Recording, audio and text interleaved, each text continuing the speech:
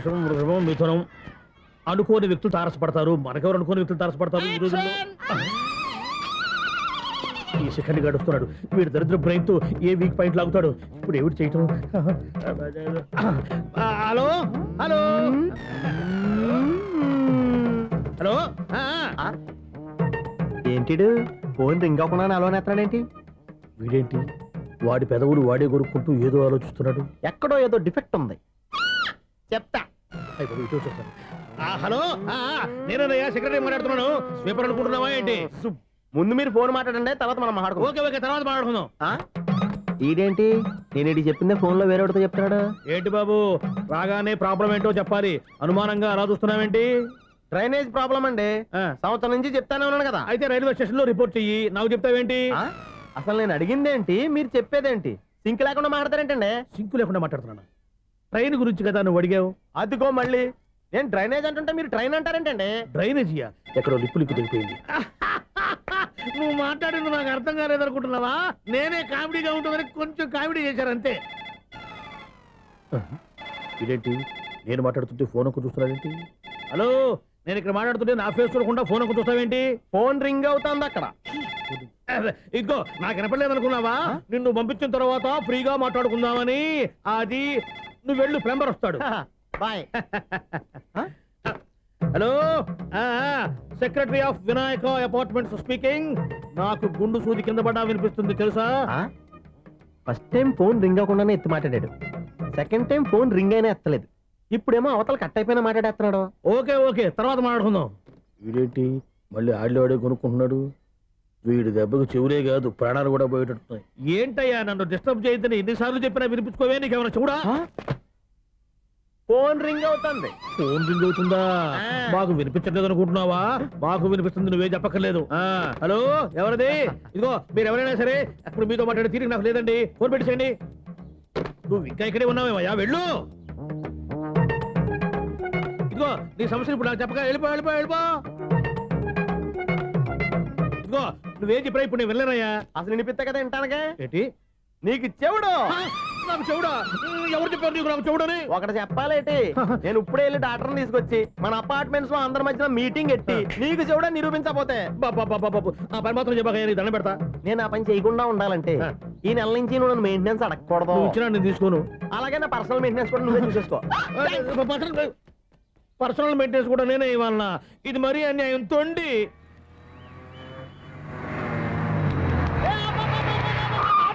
Conductor లాగా అరిపోయింట్రా నేను ఏమైనా డ్రైవర్ కదా ఒకసారి అలా చూడా. స్వప్న స్వప్నం తప్ప నీకు ఈ ప్రపంచంలో ఎవరు ఆనరా? ఆ సైడ్కి చూడు. వాడు ఎవడో అమ్మాయి సైడ్ కొడుతున్నారా నువ్వు స్ట్రైట్గా ఇలా కొట్టాయి. పాప వాడేం చేశాడు ఆడు కాదు. నాలో ఉన్న డైరెక్టర్ చేస్తాడు. స్వప్నాల ఫ్యామిలీకి ప్రేమ అంటే సిరాకు. ఇప్పుడు నువ్వు స్ట్రైట్గా వెళ్ళాడు నాలుగు బీకి ప్రేమకు వ్యతిరేకంగా భారీ డైలాగులు చెప్పావనుకో వెంటనే స్వప్నం నేను చూసి నువ్వు కూడా తంట అయిపోయాను ఫీల్ అయిపోద్ది. ఆ ఫీల్ నేను గోల్ వైపు నడిపిస్తుంది.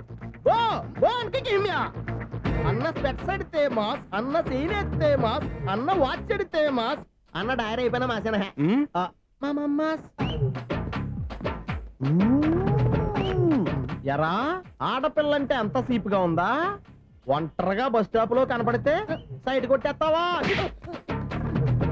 ఒరే ఇంకొక్కసారి నిన్ను బస్ స్టాప్లో చూశాననుకో బట్టలతో సహా సీరేస్తాను రే. ఆగండి ఆయన ఎందుకు కొడుతున్నారు నువ్వు ధైర్యంగా ఉండమ్మా నీకు నేనున్నాను నువ్వు నాకెందుకు ఏడవడానికి ఆయన వదలండి అదేంటమ్మా సైడ్ కొట్టి వాళ్ళందరినీ క్షమించేస్తున్నావా సైడ్ కొట్టడం ఏంటి మా ఇద్దరికి నిశ్చితార్థం అయిపోయింది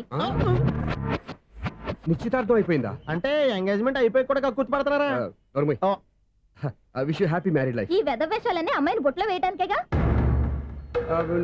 ఈ విషయం మీకు ఎలా తెలుసండి ఇలాంటి బేవస్ డైరెక్షన్ చేసావంటే చెప్పుతో కొడతా? పెద్ద ఫోర్ ట్వంటీ కేసుల్లో ఉన్నారు. జాగ్రత్తగా ఉండండి. అజ్జి బాబోయ్ ఇది ఎవరు బాబా? డైరెక్టర్గా డైరెక్టర్ లా ఉంది. ఆగు. ఏంటి సైటా? లవ్వా? ట్రాప్ చేయాలని ప్లానా? నువ్వు చాలా ఓవర్ చేస్తున్నావని నాకు ఓపెనింగ్ నుంచి బాగా తెలుసు. మా నాన్నగారి దగ్గర నువ్వు చదువుకున్నావని చెప్పిన ఆ ఇయర్లోనే మా అక్క కూడా చదువుకుంది. నువ్వు ఆ ఇయర్లో చదవలేదని నాకు క్లియర్గా తెలుసు. ఎందుకంటే మా అక్క క్లాస్మేట్స్ అందరూ నాకు బాగా తెలుసు. అయినా నేను బయటపడలేదు. ఎందుకో తెలుసా? తన దగ్గర చదువుకునే స్టూడెంట్ మంచి పొజిషన్లోకి వచ్చాడని మా నాన్నగారు చాలా సంతోషపడ్డారు.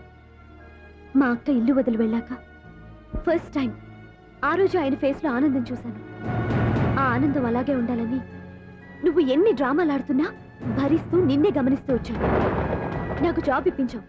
మా బ్రదర్కి ఇంజనీరింగ్ సీట్ కోసం ట్రై చేశాం మా ఫ్యామిలీ కోసం చాలా కష్టపడుతున్నాడనే ఇంప్రెషన్ ఇమేజ్ సింపతి సంపాదిస్తే నీ ప్రేమలో పడి తడిసి ముద్దైపోతాననుకున్నావా? నెవర్ నువ్వు ఎన్ని పాచికలు విసిరినా నేను నిన్ను ప్రేమించను. నిన్నే కాదు ఎవరి మీద నాకు ప్రేమ పుట్టదు. ఇకనైనా ఆడిన డ్రామాలు చాలు ఆపే.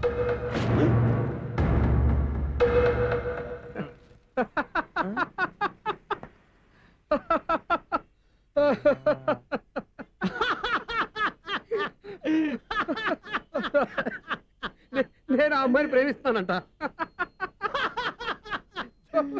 పాపం చిన్నపిల్ల కదా. ఎక్స్పీరియన్స్ లాగా అలా మాట్లాడింది. క్షమించదులే. హలో ఐశ్వర్య రాయ్ కరీనా కపూర్. రోజు ఫోన్లు చేస్తుంటే ఎత్తట్లేదు మా వాడు.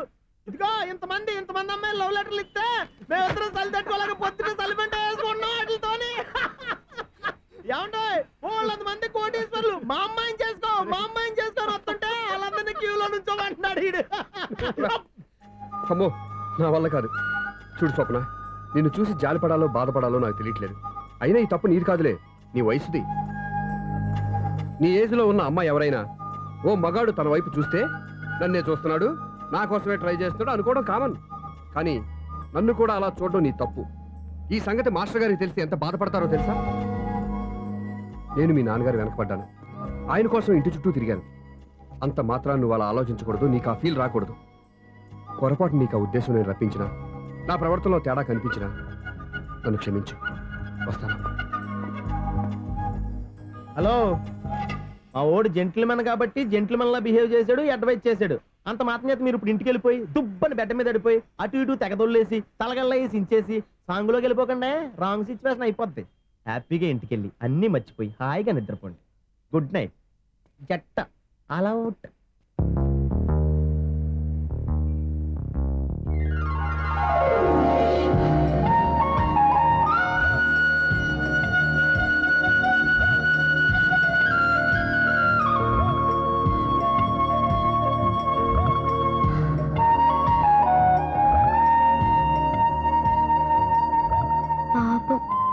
నిజం తెలుసుకోకుండా దారుణంగా తిట్టేశాను. అతను చెప్పింది నిజమే. నేనే తొందరపడ్డా. అతను ఎప్పుడూ రాంగ్గా బిహేవ్ చేయలేదు. అతను వెంట పడుతున్నాడని ట్రాప్ చేస్తున్నాడని నేనే తప్పుగా అర్థం చేసుకున్నా. హలో. మా ఓడు జెంట్లమెన్ కాబట్టి జెంటిల్మెన్ లా బిహేవ్ చేశాడు అడ్వైజ్ చేశాడు. అంత మాత్రమే మీరు ఇప్పుడు ఇంటికి వెళ్ళిపోయి దుబ్బని బెడ్డ మీద అడిపోయి అటు ఇటు తెగదొల్లేసి తలగల్లా వేసి ఇంచేసి సాంగులోకి వెళ్ళిపోకుండా. రాంగ్ సిచ్యువేషన్ అయిపోద్ది. తప్పదురా సునీల్. ఎవరు బాబు తమరు ఎక్కడికి వెళ్ళాలి? రిజిస్టర్ రంగనాథ్ గారిని కలవాలండి. రంగనాథం గారినా? అయితే పది రూపాయలు ఇవ్వండి. రంగనాథ్ గారికా? రంగనాథం గారికి అదేం సరిపోద్ది బైక్ పార్కింగ్ చేయడానికి నాకే. బైక్ పార్కింగ్కి పది రూపాయల. ఎక్కడైనా ఉందా ఈ అన్యాయం? ఎక్కడే ఉన్నది ఇక్కడే ఉంటది.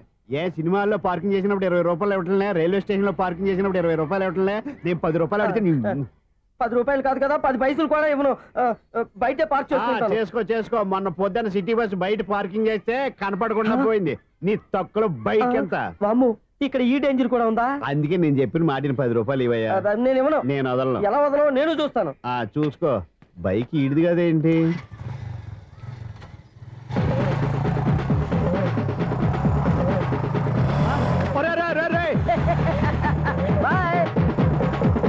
ఉల్లుక్క పట్ట నాకే మస్క ఇచ్చి లోపలికి వెళ్తావురా రేయ్ ఇది సింగిల్ గేట్ పద్మం ఇవ్వరా? దొరక్కపోవు నీ సంగతి చూస్తా. ఏంది నువ్వు చూసేది? సిడి. సీడీ చుట్టానికి నా పర్మిషన్ ఎందుకు? ప్లేయర్ కావాలి కానీ. ప్లేయర్ లేదు కాబట్టి నీ దగ్గరకు వచ్చాం. ఒక ఆరు వేలు ఇత్తలు కొనేసుకుంటాం. ఎంత? Just six thousand just six Hmm. నువ్వు అడిగినప్పుడు ఇవ్వడానికి ఇక్కడ నేను ఫైనాన్స్ కంపెనీ పెట్టుకోలేదు. అంతేనా నా మాటనువా వినాను. నాకు వినపడదు. ఇలాంటివి అసలు పడవు. ఏంటి చెప్పు? చెప్తా. చెప్పు. ఓ నా అపార్ట్మెంట్ సునీల్. ఇన్నాళ్ళు మనం ట్రైన్కి డ్రైనేజీకి తేడా తెలియని వ్యక్తిని సెక్రటరీగా పెట్టుకున్నాం. అరే ఆపరా బాబు. అందుకే మన సమస్యలన్నీ చెప్తున్నా? ఆయన చెవికి వినపడట్లేదు. మన సమస్యలు వినలేను చెవిటివాడా? మన సెక్రటరీ? రే అపరా బాబు. ఎందుకన్నా లౌడ్ స్పీకర్ లా పెద్దగా అరుస్తావు? పోను ఒక్కొక్కరి దగ్గరికి వెళ్ళి చెవిలో సీక్రెట్గా చెప్పానా? సీడీ ప్లేయర్ ఖరీదంతా? ఆరు వేలు. ఇస్తానులే తీసుకో. ఇప్పుడు డబ్బులు లేవు కానీ బయటికి వెళ్ళినప్పుడు ఏటీఎం లో డ్రా చేసుకొస్తా. అక్కర్లా. మన అపార్ట్మెంట్స్ పక్కనే ఏటీఎం మిషన్ ఉంది. నా అకౌంట్లో ఎంత ఉంది? పద్దెనిమిది వేల దాకా ఉన్నాయి. మొత్తం కనుక్కున్న డీటెయిల్స్ సరిపోయి ఆఫీస్లో కూర్చో. ఆ. నేను డ్రా చేసుకొస్తా.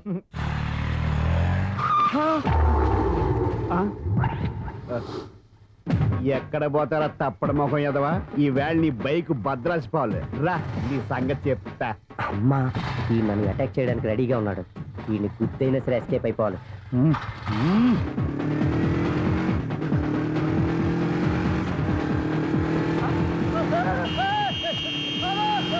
సీడీ ప్లేయర్ కూడా పెట్టారంట బ్యాంకులో పద్దెనిమిది వేలు ఉంది కదా మీకు చెవుడు కదా వీడికి ఎందుకు ఈ విషయాలన్నీ?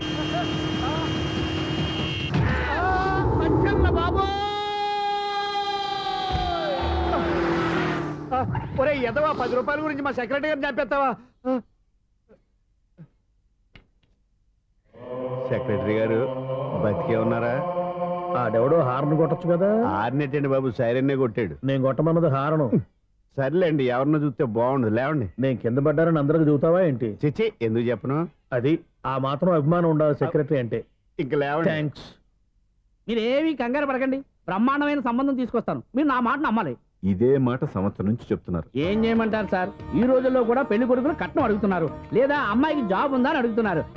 ఎలాగో అమ్మాయికి జాబ్ వచ్చేసింది కాబట్టి ఓ బ్రహ్మాండమైన సంబంధం చూస్తాను. మీరు నా మాట నమ్మాలి. వస్తానండి. వస్తానమ్మా. అయ్యో టైం అయిపోతుంది. అవతల బోల్డని పనులు ఉన్నాయి.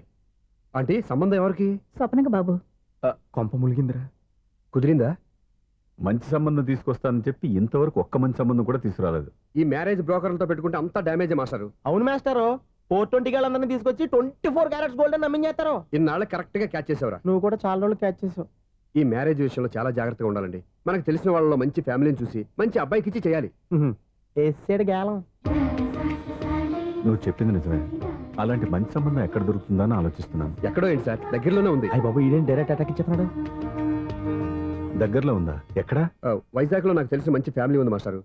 ఆ అబ్బాయి చాలా మంచోడు. హార్బర్లో ఇంజనీర్. మీకు ఇష్టమైతే చెప్పండి అమ్మాయిని చూసుకోవడానికి వెంటనే బయలుదేరామని చెప్తాను. ఏంటి ఎంత పెద్ద టర్నింగ్ ఇచ్చాడు? అసలు ఇటు ప్లే ఏంటో మన స్క్రీన్ ప్లే కూడా అర్థం కావట్లేదే. ఏంటి సార్ ఆలోచిస్తున్నారు? ఇందులో ఆలోచించేదే ఉంది.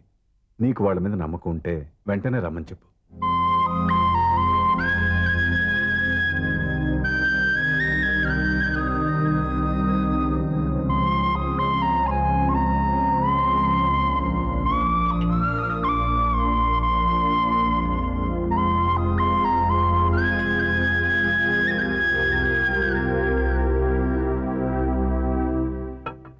మీ గురించి మీ కుటుంబం గురించి సూర్య ఎంతో గొప్పగా చెప్పాడు.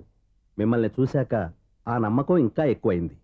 మా సూర్యకి నా మీద ఉన్న అభిమానం లాంటిది ఒక్కొక్కప్పుడు మంచి స్టూడెంట్ దొరకడం కూడా గురువు అదృష్టం. మా సూర్యని చూసినప్పుడల్లా నాకు అదే అనిపిస్తుంది. మాస్టర్ అలాగే అంటారు మీరేం పట్టించుకోకండి. ఇది చిన్నప్పటి నుంచి ఇంతేనండి. ఎవరి పోకుండా ఈజీగా సిగ్గుపడిపోతాడు. మీరు కూడా మాస్టర్ దగ్గరే చదువుకున్నారా? నేను ఈయన దగ్గర చదువుకున్న తక్కువ అని ఇంట్లో చదువుకున్న ఈనాడు పేపర్లు ఎక్కువ అండి తను సినిమా రైటరు ఓ. డైరెక్టర్? డైరెక్టరా ఇంతకి మీరు ఏ సినిమాలు తీసారండి ఇంకా చేస్తున్నాం. చేస్తారు వీడి గురించి చెప్పాలంటే మాయా బజార్ అంత కథ ఉందండి. ముందు అమ్మాయి ఎలా ఉందో చెప్పండి. ఆ అమ్మాయికి ఏమండి బంగారు బొమ్మలా ఉంది. బొమ్మలా ఏంటండి? అందం మంచితనం ఉన్న అమ్మాయి అందరికీ దొరుకుతుందా? పైగా చదువుకు చదువు తెలివికి తెలివి ఒక్క మాటలో చెప్పాలంటే ఆమె మీ ఇంటి కోడలైందనుకోండి. సరస్వతీదేవి లక్ష్మీదేవి మీ ఇంట్లో కొలువు ఉన్నట్టే. నీ మనసులో నా గురించి ఇన్ని ఆలోచనలున్నాయా నువ్వే గెలిచావు. ఈ పెళ్ళి చూపులు అతనికి నాకు కాదు నీకు నాకు. ఎన్ని సంబంధాలు వచ్చినా క్యాన్సిల్. ఈ జన్మకి నువ్వేరా నా మొగుడివి?